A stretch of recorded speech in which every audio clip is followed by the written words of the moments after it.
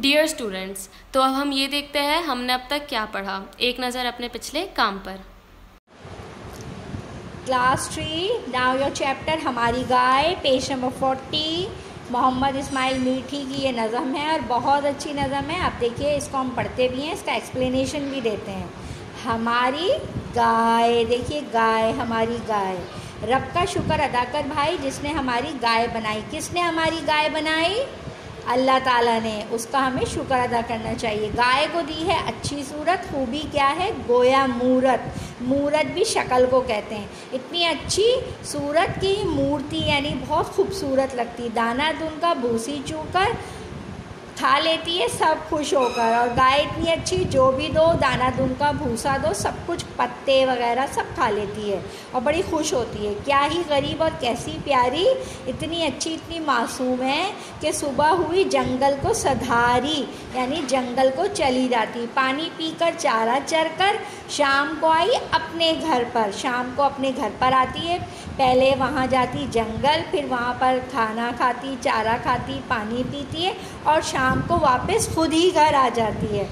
बछड़े इसके बैल बनाए, इसके जो बछड़े हैं, वो बन, बड़े होकर क्या बन जाते हैं? बैल, जो खेती के काम में है और हल चलाने में कौन इस्तेमाल होता है? बैल।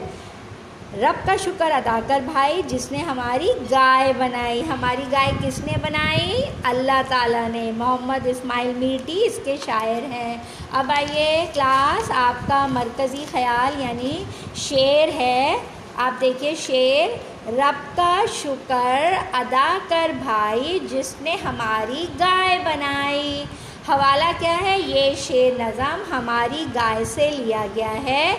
इसके शायर इस मोहम्मद इस्माइल मीठी हैं। ठीक है ना?